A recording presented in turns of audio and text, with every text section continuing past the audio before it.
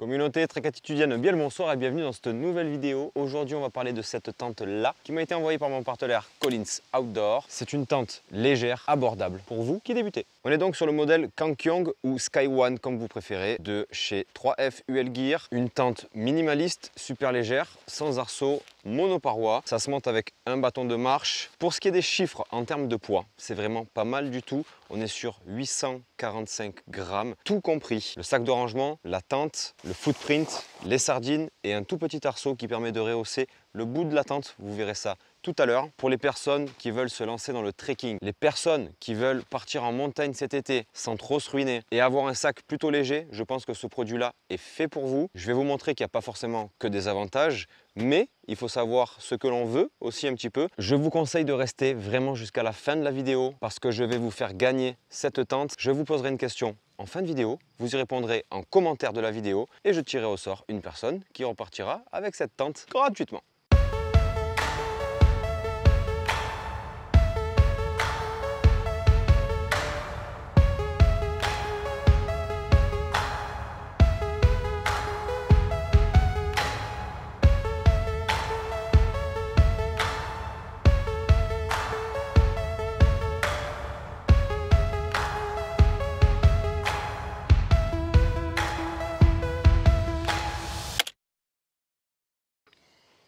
Toujours en plein milieu. Bon, du coup, cette tente, est-ce qu'elle est bien? Est-ce qu'elle est pas bien? Est-ce qu'elle vaut le coup? C'est une bonne question. Moi, je pense que oui, juste du fait en fait de son prix et de son poids et de son encombrement. Ça prend vraiment pas beaucoup de place une fois rangé et même au sol, une fois déployé, ça prend pas plus de place que ça. Au niveau de, l'empreinte au sol, c'est pas mal. On va pouvoir se, poser un petit peu de partout avec cette tente. En termes d'installation, moi, je l'ai montée quatre fois et euh, bon, c'est pas la croix à la bannière. C'est pas très intuitif au tout début la première fois quand je l'ai monté, je me dis ok mince l'arceau ça va où, dans quel sens, etc.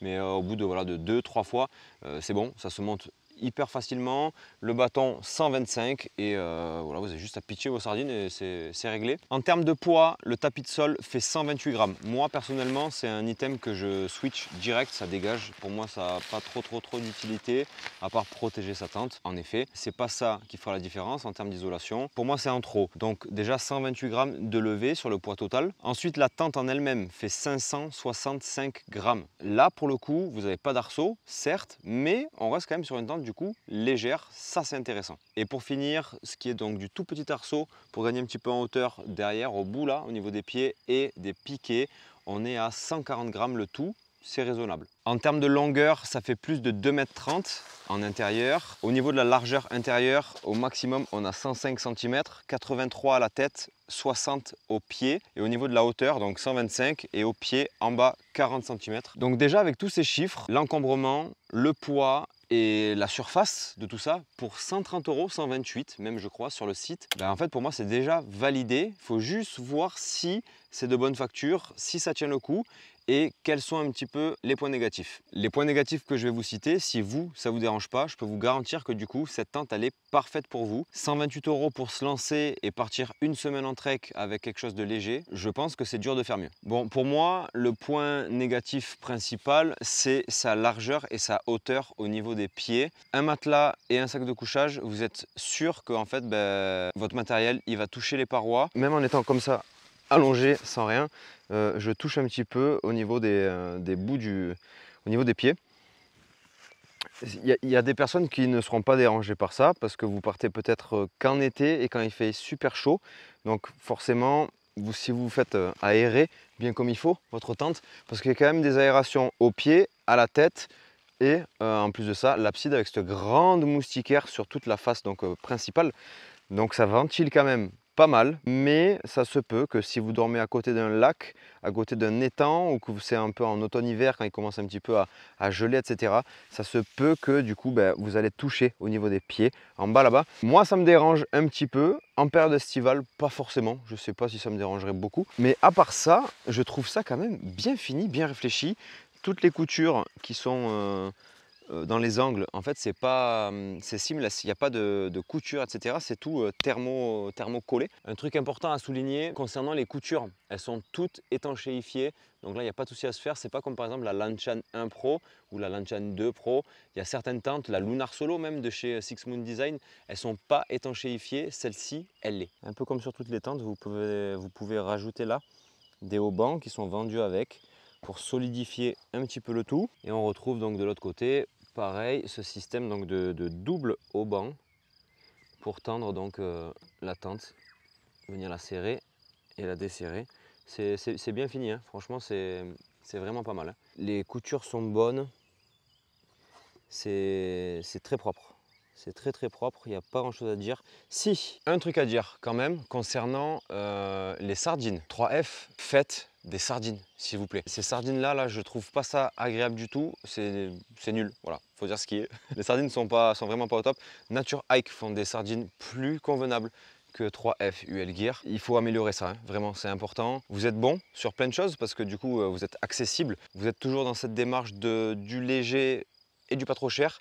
Mais par contre, il y a des choses où il faut pas trop négliger en fait la qualité. Les sardines, c'est important. Pour moi, c'est un petit peu les, points noirs, mais là, c'est un peu global à 3F en général. Sinon, ça reste une tente très simple, très, euh, très classique, qui peut satisfaire pas mal de monde, je pense, vraiment. En termes des accessoires à l'intérieur, on a une petite poche, petite poche plutôt, plutôt longue quand même cette poche, mais euh, pas très profonde. Donc tout dépend de ce que vous mettez. Ça baille, on va, on va dire que ça peut bailler un petit peu. Genre là mon téléphone, vous voyez ce que je veux dire? Voilà ce que ça, ce que ça donne. Vous pouvez mettre une bouteille d'eau, vous pouvez mettre euh, une frontale par exemple, un petit peu ce que vous voulez, une barre céréale, peu importe, c'est quand même assez, euh, assez grand. Au niveau de la tête, il y a quand même bien de la place. Hein. On, a de quoi mettre son, son matelas avec son coussin, on ne touchera pas au niveau de la tête parce qu'en fait le bâton est très proche de la tête et du coup c'est là qu'on a le plus de hauteur sous, plafond.